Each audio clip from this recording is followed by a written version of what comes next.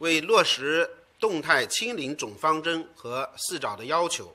切实防范五一假期疫情传播风险，首都严格进行管理联防联控协调机制决定，五一期间市民群众进入全市各类公共场所，包括郊区的景区、酒店、民宿等，需持四十八小时内核酸检测阴性证明。请广大市民朋友严格遵守疫情防控规定，自觉不前往中高风险地区，不聚集、不扎堆，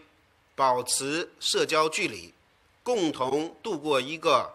健康、安全、祥和的五一假日。